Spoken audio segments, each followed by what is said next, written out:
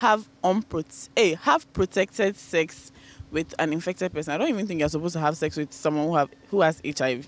Are you supposed to? to the people watching, are you supposed to?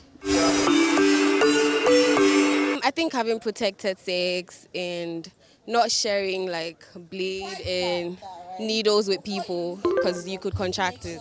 Oh, deɛ wobɛtumi ayɛ ne sɛ bɛrima deɛ nka wohyia ɔbaa no anka wonnim no anaasɛ even akɔnnɔ deɛ wɔ hɔ. Ɛna even wohu sɛ yaleɛ no ɛwɔ ne ho so ɔhu sɛne ade no akɔɛ nti deɛ bɛsen sɛ wonya ɔbaa deɛ ana nka woaboa ho. Biribi te sɛ rɔba kora na abɛhyɛ a ɛno ɛbɛtumi aprotect wo. Sɛ ɛbɛyɛ a wona wosuro hiv baa me na mensuro hiv Uh, first of all, can be abstinence from sex, or if even you are having sex, make sure to protect yourself. So as you can see, uh, they shared condoms, and I had my condoms here.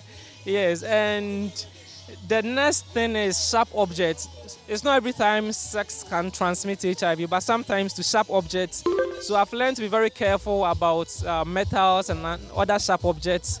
Not to use a blade somebody used, not to use um, sharp object that other people have used, but rather if I want to use, I should use my personal one. so ɔhu sɛne ade no akɔɛ hɛn nti me me deɛ ɔdom ankoma bɔɔɛ no ɛnyɛ fɛ sɛ wo ne ɔbaa bɛkɔ nhyiamu a wobɛhyɛ rɔba so ɔhu sɛne ɛteɛ baa ɛsiane sɛ ɔka sɛ yaleɛ no nti no ɛno na eh, ɛbɛma eh, biribi saa why You don't have to use the same sharp objects with an infected person and then have unprot- hey, eh, have protected sex with an infected person. I don't even think you're supposed to have sex with someone who have who has HIV.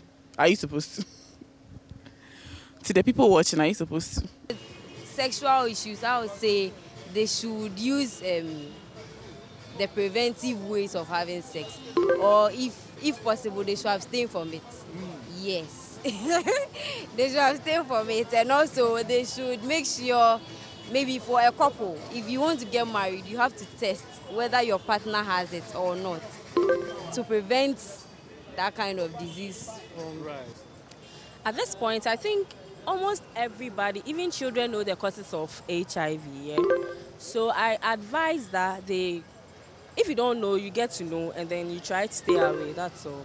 you have to practice safe sex, condom use, and then abstinence too is the best. Yes. one shouldn't share objects and one should just What kind of objects?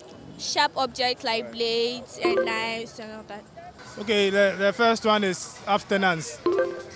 The first one is abstinence. And then um, you play safe with your, your partner. Just stay with one person. And then I think condoms. by abstaining from sex and if you can't by using condom and then also not using sharp objects like sharing sharp objects with others